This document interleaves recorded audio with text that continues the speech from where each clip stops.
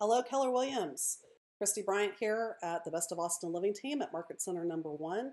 I am an agent and I help agents fully utilize DocuSign to make their lives easier.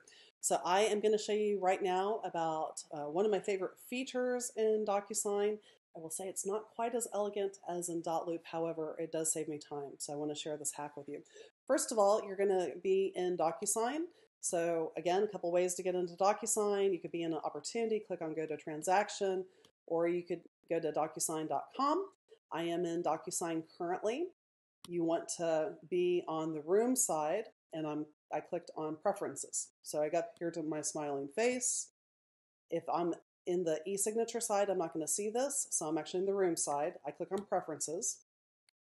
And when I'm in preferences over here on the left side, I'm going to see inbox details. So this is your DocuSign email address. You can adjust it. You can see that this is an open field right here. Mine had a number, Kristie plus a number. I switched it, so mine is now kristie.bryant at mail.docusign.net. I would encourage you to adjust this, uh, make it to the email address that you want it to be, and you're going to save that. How are we going to use this? Well, let me show you. So now I'm going to go into a room. I received title on a property that's closing in a couple of days. I'm going to show you how I'm going to email those documents directly into the room. So I'm going to go down. The uh, room that I want to be in is here, O'Brien Yo, 4815 Old Fort. So here at the top of this room, I have the ID. I want to copy that ID number. So this is not the most elegant thing. Um, because you have to have the ID number for the email in order for it to come into the room. My solution for that is that I have on my desktop a page that has these uh, listed out. So I don't go into the room, I go um, onto that page, I copy and paste to that page, and then I look at that page, the ID number, when I want to email something in. So I'm going to email documents into this room.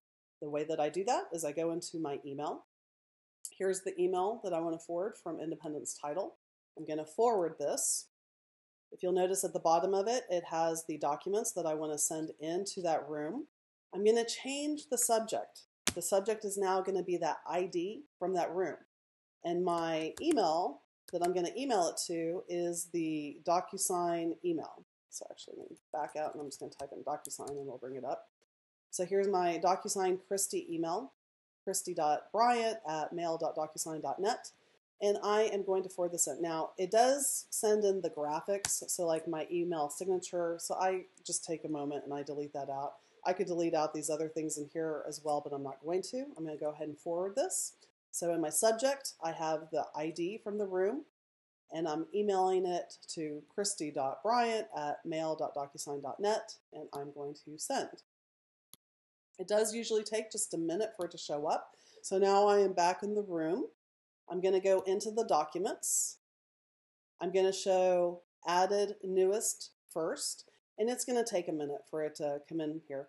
Um, I could toggle between dashboard and room. That might help it to uh, populate. Most likely not. It takes a few minutes for those documents to come in.